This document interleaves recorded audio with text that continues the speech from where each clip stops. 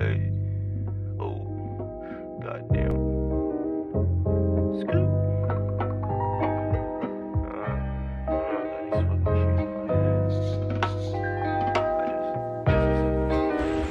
Bon, on y va. Comment récupérer ton shoot? Ou pourquoi tu l'as perdu? Pourquoi il est plus dans tes mains? Pourquoi tes shoots ne rentrent pas? Pourquoi d'habitude ça planté, tu t'es arrêté une semaine, aujourd'hui ça rentre plus? Pourquoi hier tu mettais tout et aujourd'hui tu mets plus rien?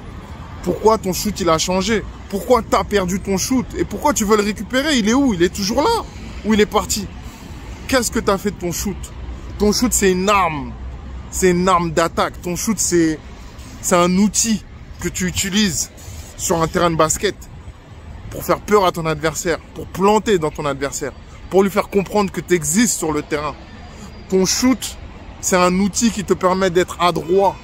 Ton, shoot, c'est de l'adresse. Ton shoot, c'est de la perfection. Ton shoot, c'est quelque chose que tu as perfectionné, que tu as travaillé du jour au lendemain. Tout au long de ton jeu, tout au long de ta progression, c'est quelque chose que tu as charbonné.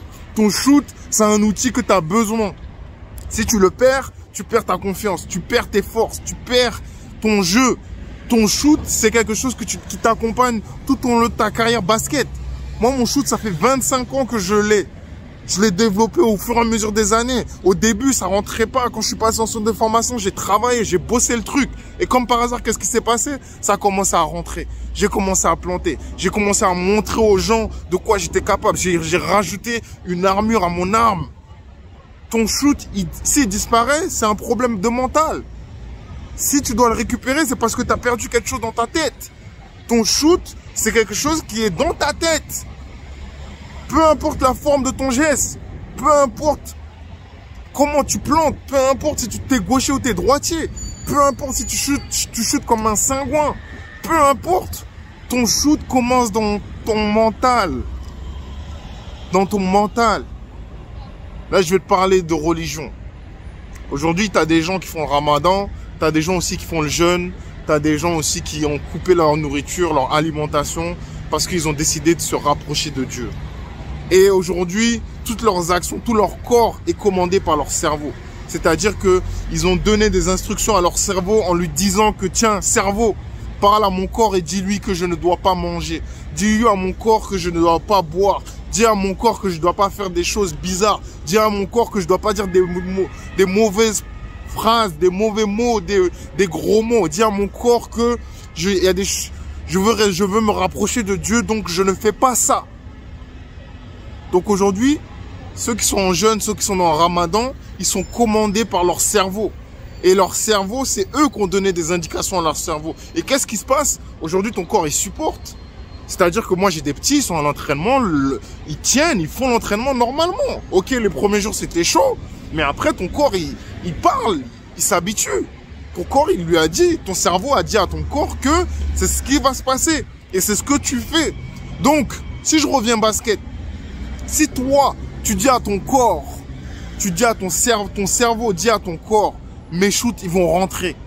Si ton cerveau dit à ton, à corps, je suis adroit, j'ai un shoot. Si ton cerveau dit à ton corps, non, j'ai jamais perdu mon shoot, il est là mon shoot, je le récupère pas, il est là, il est juste dans ma tête. Si ton cerveau parle à ton corps, si ton cerveau va dans des directions positives, si ton cerveau est aligné avec ce que tu penses et ce que tu veux faire, il n'y a pas de raison que tes shoots ne rentrent pas.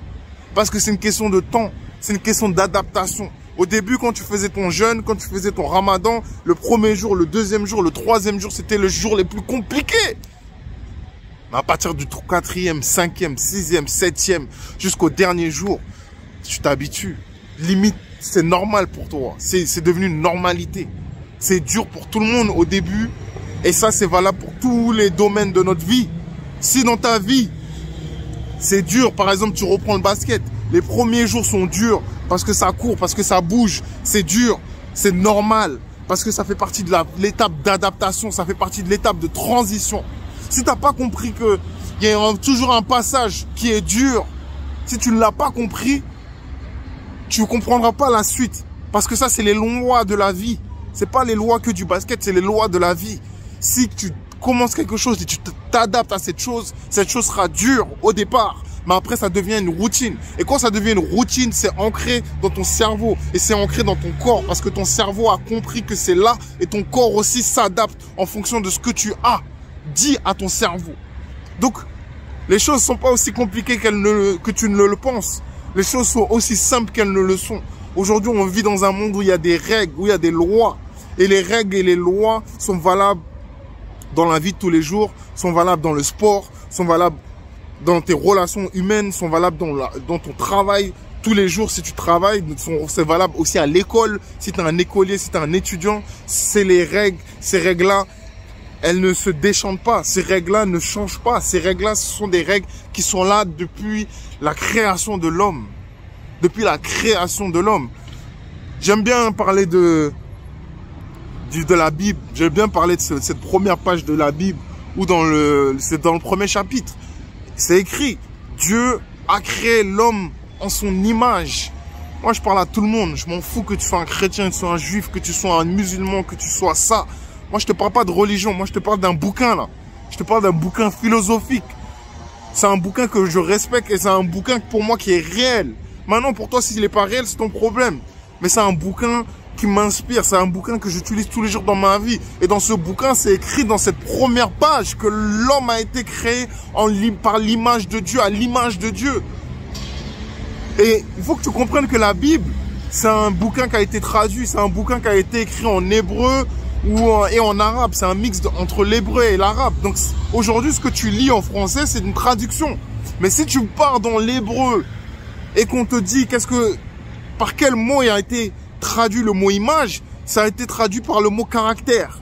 Et si on place, si tu fais des recherches dans le mot caractère, si tu fais une recherche sur le mot caractère, le mot caractère veut dire image, bien sûr, mais le mot caractère veut aussi dire statut. Une statue, c'est quoi? Une statue, c'est quelque chose qui bouge pas.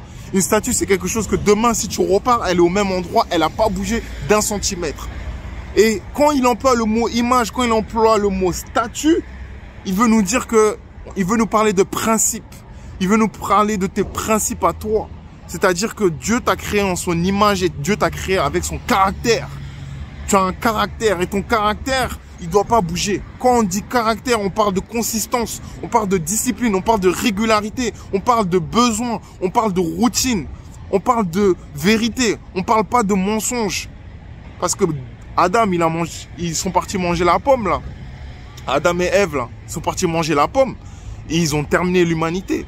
Et c'est pour ça qu'aujourd'hui on pêche. C'est pour ça qu'aujourd'hui on fait des erreurs. C'est pour ça qu'on dit, des fois on dit des conneries. C'est pour ça qu'aujourd'hui moi-même je dis des gros mots des fois. C'est pour ça qu'aujourd'hui des fois je m'énerve. Mais un caractère, l'image de Dieu, Dieu son caractère, il s'énerve pas. Dieu il bouge pas. Dieu c'est une statue. C'est une statue dans le sens que il reste consistant, il reste régulier, il reste vérité, il reste euh, dédié, il reste lui-même. C'est ça l'image de Dieu, c'est ça le caractère de Dieu. Et aujourd'hui, c'est ça. Si tu veux être un basketteur, si tu veux pousser ton, ton, ton shoot, si tu veux récupérer ton shoot, tu dois pas sortir de ton caractère. Tu vois, tu as des shooters, quand ils shootent et ils ratent, ils font un match, ils ont fait 0 sur 9, alors qu'à la base, c'est des grands shooters. Ils ratent les shoots, mais pendant le match, ils bougent pas. Leurs sentiments ne bougent pas. Ils restent dans leur caractère. Ça fait partie du jeu. Change pas de caractère. Change pas de caractère. Reste. Tu vas pêcher. On pêche tous. Des fois, on s'énerve. On va tous s'énerver. Mais l'objectif, le travail qu'on doit faire sur nous-mêmes, c'est un travail de caractère. Et le shoot, c'est pareil. Si tu as perdu ton shoot et que tu le veux le récupérer, c'est parce que tu as changé de caractère. Et ne change pas de caractère. Reste dans ton caractère. Ne bouge pas. Reste qui tu es. Reste le même joueur que tu étais de départ. Garde la même passion. Garde la même envie. Garde la même détermination. Mais bouge pas ça. Tout est contrôlé par ça. Par ton mental. Ton mental crée ta motivation, ton mental crée ta routine, ton mental crée ce que ton corps a besoin, ton mental crée ta destination. Souvent, moi, je parle du, de la puissance de la visualisation. Moi, des fois, je vois des gens, j'aime les gamos, j'aime les voitures. Donc, des fois, je vais dans des magasins où il y a des voitures qui me plaisent. Même si j'ai pas l'argent, même si j'ai pas les moyens d'acheter cette voiture, des fois, je vais là-bas juste pour voir, juste pour visualiser le truc pour me mettre, pour ressentir le truc de plus en plus, pour me rapprocher de ça. Parce que je veux pas que mon caractère il change. C'est pas parce que j'ai pas les moyens que je dois pas me permettre d'avoir ce caractère d'envie, de, de réussite. Parce que avoir une belle voiture, c'est aussi un caractère de réussite. Dieu, il veut pas pas envie que tu rates tes shoots. Il a pas envie que tu sois pauvre. Si tu es pauvre, comment tu peux être à l'image de Dieu? Comment tu peux être au caractère de Dieu? Si tu es riche, c'est ça qu'il veut Dieu. Il veut que tu sois riche, il veut que tu sois enrichi. Quand je dis riche, je te parle pas que d'argent. Je te parle de fierté parce que quand tu fais un match où tu fais du 9 sur 10 à 3 points, tu es content et tu es riche à l'intérieur de toi. Ta richesse se trouve à l'intérieur de toi et c'est toi qui crée ta richesse. C'est toi qui nourris ta richesse, nourris ta passion. Et si tu nourris ta passion, tu nourriras ta richesse. je te donne trop de motivation là, je te donne trop parce que là je suis aligné avec mon créateur. Je suis dans le, je jeune aussi, je fais le jeûne. Donc quand je jeûne, je suis dans mon caractère, je suis, moi en fait. Et toi aussi tu as un caractère. Il faut que tu sois toi man. Reste dans l'image, reste dans la perfection, reste dans l'approche de la perfection, reste dans la recherche de la perfection. La perfection n'existe pas. Mais le travail de recherche, de perfectionnisme, ça existe. Se perfectionner, chercher à se perfectionner, ça existe toujours. Mais ça, pour ça, tu as besoin d'être aligné, tu as besoin d'arrêter de manger des fois. Tu as besoin d'être, de changer tes addictions, d'arrêter tes addictions. Tes addictions au jus. Moi, je suis addict au jus. Mais là, je suis en jeûne. Je fais le jeûne je je peux pas être addict au jus. Je suis en alignement avec lui et je suis en alignement avec moi-même. Parce que si je suis aligné avec lui, je suis aligné avec moi, j'ai confiance en moi. Ta confiance se trouve à l'intérieur de toi. Ta richesse se trouve à l'intérieur de toi. Va la chercher à l'intérieur de toi et récupère ton shoot. Ton shoot se trouve là. Ton shoot ne se trouve pas dans tes mains là. Ton shoot se trouve là. Et ça, ça s'entraîne. Ça, ça se travaille quand tu vas à la salle et que tu travailles ton shoot, tu entraînes ton cerveau à entendre des switches. Tu entraînes ton cerveau à l'habituer à ce que tu mettes des shoots. Tu entraînes ton cerveau à tes appuis. Tu entraînes ton cerveau avec le toucher du ballon. Tu entraînes ton cerveau à garder le poids du ballon dans tes mains. Tu entraînes ton cerveau à avancer et à devenir meilleur. C'est ça la routine. Mais à partir du moment où tu l'as, à partir du moment où c'est ancré, à partir du moment où tu as travaillé comme moi pendant 25 ans dans le game, tu crois que j'ai besoin d'aller m'entraîner et faire des séances de shoot? Oui, j'en ai besoin parce que j'ai envie d'être meilleur tous les jours. Mais concrètement, si demain j'ai un match, le truc il est là. Le truc il est là. La semaine dernière, on a joué un gros match, c'était le match de la montée. On l'a perdu, j'ai pleuré sur le terrain. J'ai pleuré mon ami. J'ai pas pleuré comme une fiotte devant tous les gens là sachant que j'ai mis, j'ai pas compté mes points, mais j'ai mis des points. J'ai mis des points, j'ai mis peut-être 50% des points et je m'en bats les couilles. Moi, la, finalité, c'était gagner. C'était gagner. J'ai pleuré, mon ami. Mais avant ce match, ma préparation, tu crois, s'est focalisée sur quoi? Ma préparation, elle s'est focalisée sur, ma, sur mon mental. Pas sur mon shoot, pas sur mes aptitudes. Elle s'est focalisée sur mon mental, sur la confiance que j'ai en moi. J'ai raté là les shoots. J'étais pas, j'étais pas à droit. J'ai pas été à droit sur ce match, mais je m'en fous parce que j'étais en totale confiance. J'ai fait ce que je voulais faire et j'ai réussi à, impacter mon équipe par les moyens que j'avais. J'ai réussi à apporter de la valeur dans mon équipe. J'ai réussi à, mettre, à impacter mon adversaire. J'ai réussi à montrer à tous ceux qui étaient dans la pièce que je joue avec ça, avec mon cœur et avec ça. Je joue avec ça et avec mon cœur. Et le basket, ça commence par là. Donc récupère ton shoot rapidement, va sur le terrain, shoot, et parle-toi. Dis-toi que ton shoot n'est pas perdu, ton shoot est avec toi. Tu n'as pas besoin de, de dire que tu vas le récupérer. Ton shoot, il est juste à l'intérieur de toi. C'est à toi de le prendre, qui, ce qui est à l'intérieur de toi. Ok? Maintenant, pour une histoire de shoot, j'ai un shoot, j'ai un programme de shoot. C'est un programme de route, c'est limite de la routine. Il est gratuit, il est disponible. Si tu veux récupérer ton shoot, c'est quelque chose que tu peux faire, c'est une routine que tu peux faire. Maintenant, si tu veux doubler ce programme de shoot en impliquant une routine à ta vie, c'est-à-dire que c'est ancré dans toi. Moi, j'étais à la gym là ce matin, je suis à Fitness Park, là, j'en sors. C'est une routine, man. C'est une routine, c'est aussi une consistance, c'est aussi un caractère. Si tu veux attraper ce caractère, si tu veux rentrer dans une vision du basket ou une vision, la vision d'un athlète, tu dois être dans ton caractère. Et ce caractère, j'ai créé un programme pour toi. Ce programme s'appelle le Routine Programme. Dans ce Routine Programme, tu peux entamer et créer ton caractère, créer ta routine, créer ta vision où tu veux aller et comment tu veux y arriver. Ce programme s'appelle le Routine Programme. Je t'invite à aller voir. Il est disponible dans la description. Si tu vas, si le prix te convient pas, viens me voir.